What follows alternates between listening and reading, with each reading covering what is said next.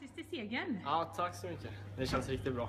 Första matchen avklarad. Ja, eh, det känns riktigt bra. Gubbarna slet hårt och ja, vi gjorde vad vi skulle helt enkelt. Försäsongen, hur tycker du den har varit? Nej, men den, eh, vi har lärt oss mycket. Det har, vi har haft lite tufft och sådär eh, på hemmacupen och sådär. Men eh, jag tycker vi har tagit lärdom av det och fortsätter att jobba på våra negativa sidor och gjort det till våra starka sidor istället. Så eh, jag tycker vi gör det jävligt bra. Mm. Och du som är ny i laget, hur... Ja, men eh, det, det känns bra i gruppen och Eh, gubbarna de tar hand om en direkt när man kom hit och det var inga konstigheter. Och, nej, jag tycker hela laget är helt underbara. Och du fick göra ditt första mål i premiären, berätta.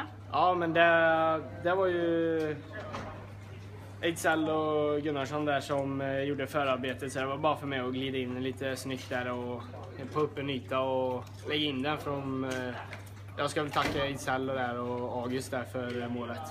En, eh, en dröm, ett drömläge för dig att smyga upp där på Ja, kanten. för fan. Det, det var riktigt skönt att glida in där. Ja, så ledde ni och det kändes som ni hade bra kontroll på matchen.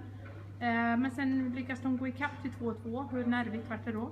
Jo, men nej, nej men jag, jag var inte så nervigt. Det var, var väl onödiga situationer. Vi släpper lite för lätt då, eh, blir det väl. Men eh, eh, jag, tycker, jag tycker ändå vi kontrollerar bra spelet ändå.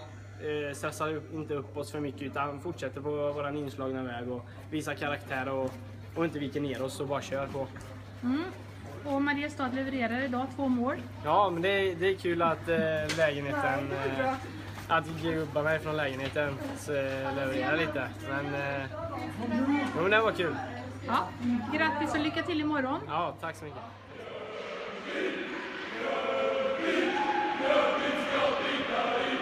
Hurra!